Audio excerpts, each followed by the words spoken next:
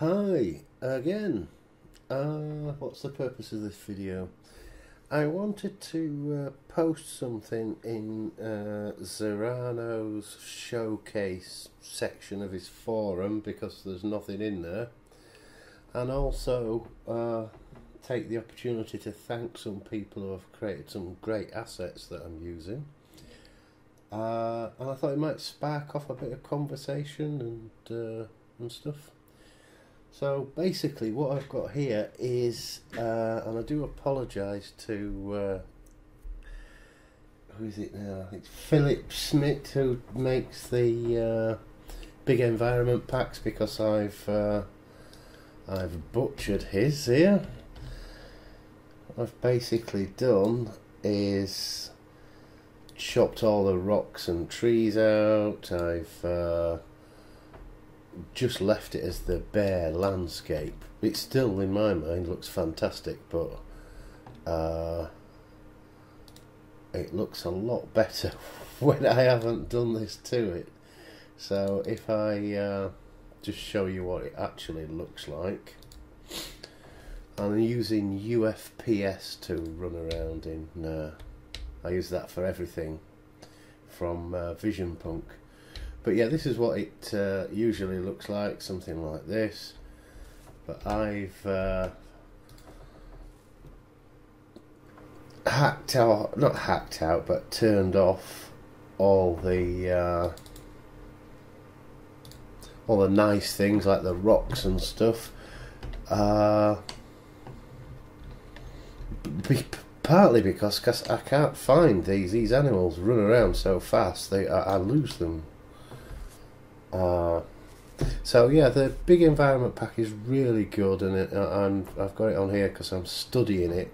Uh, I think it's sort of uh, Philip is known as being a a bit of an expert in these things, creating environments and rocks and terrains and trees. They come with all sorts of uh, you know, such as LOD levels and things.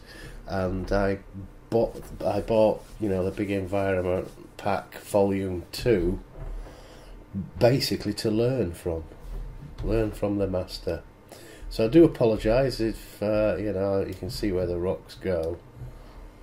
So uh, what we've got here is oh let me mention about navigation. I'm having fun with the Unity nav mesh at the moment because there are parts of it which are frightening. Like this, for instance. What the I don't know what my navmesh agent will make of this, but I don't know why it's there, what it is. What is that thing there?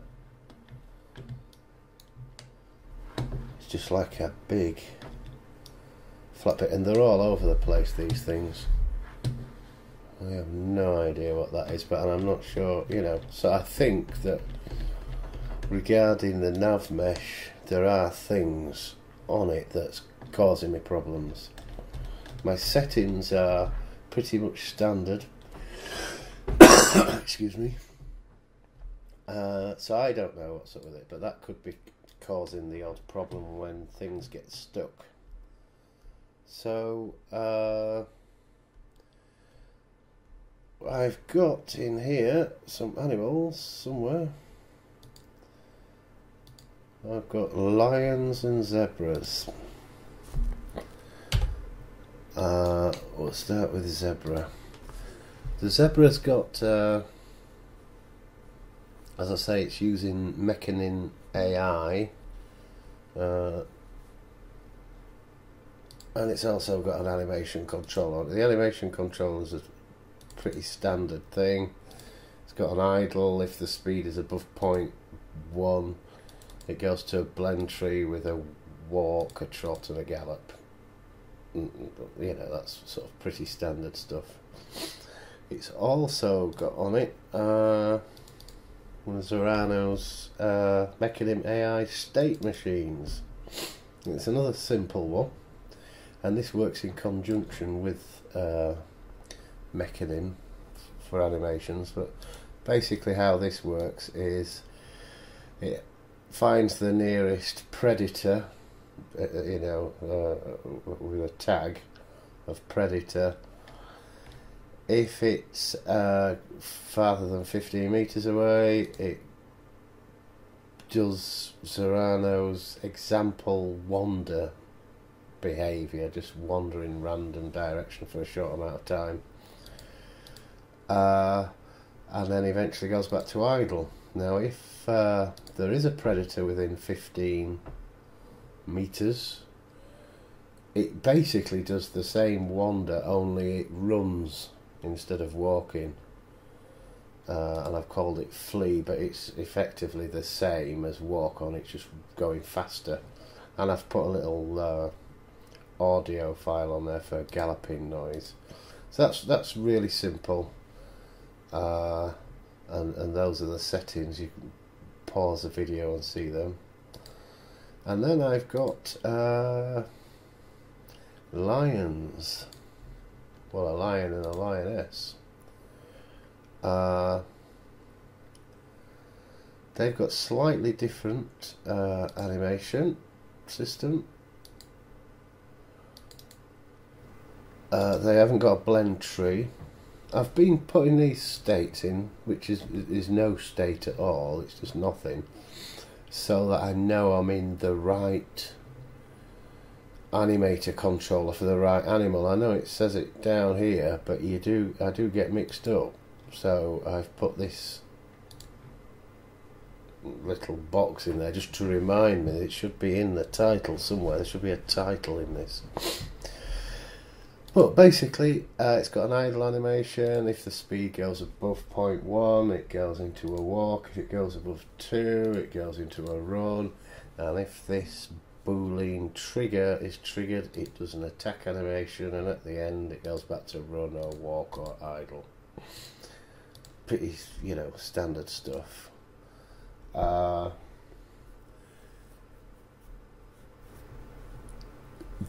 both lions basically use this sort of this similar system, same system, but the lioness is uh, well, no, I'll do, I'll do the lion state machine. So this is the Mecanim AI part again, I've been putting these in because with Mecanim AI, I have no idea which one I'm using. And, uh, and so I end up, you know, one might be broken and one's not, and I end up sort of screwing them both up.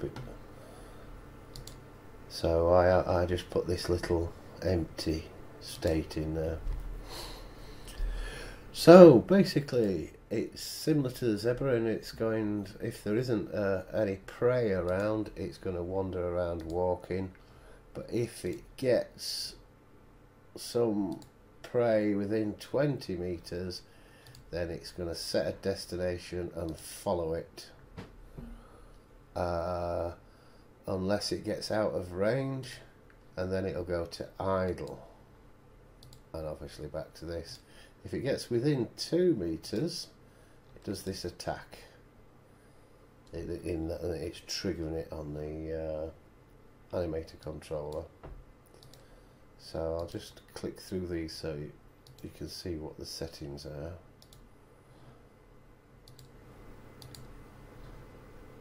I've gone through all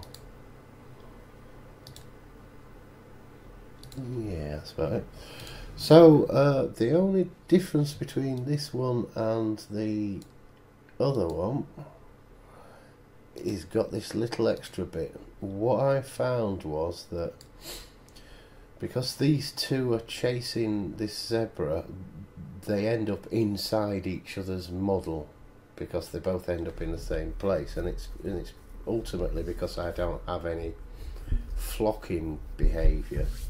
So as a sort of a temporary solution, if uh, the, li- the this this lioness looks for predators as well and finds the position of the predator and if the predator another predator is in two meters it just slows down its speed and animation and it stops it from going inside the other lion so I've talked enough I'm going to let these run around uh, and try and chase them. There we go, off they go.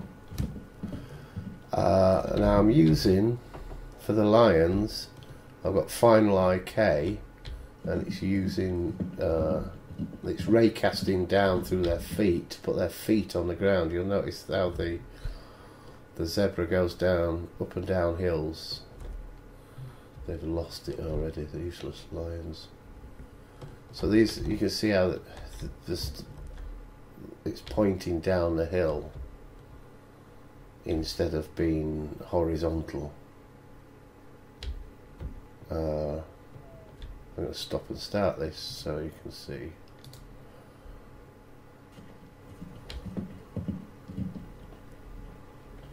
Try and see how that zebra's going down in a straight line. And the uh, the lions are hugging the terrain.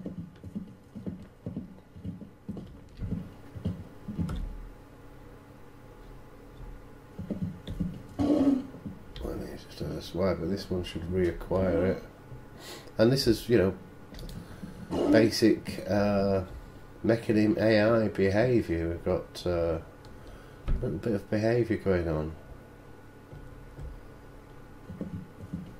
Which I think is pretty cool.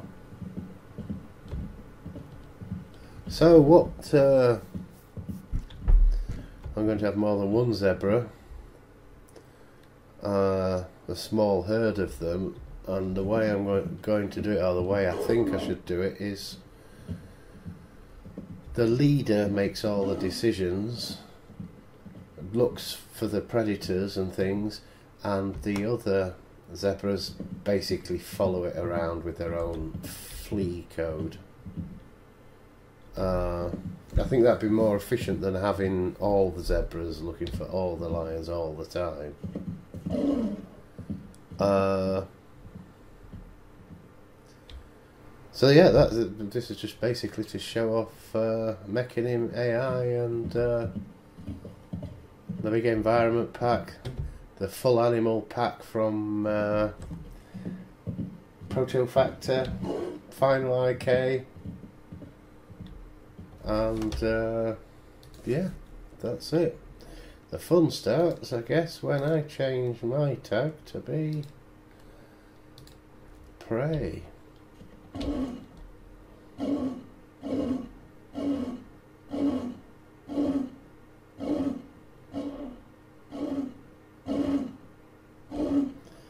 Thanks for watching.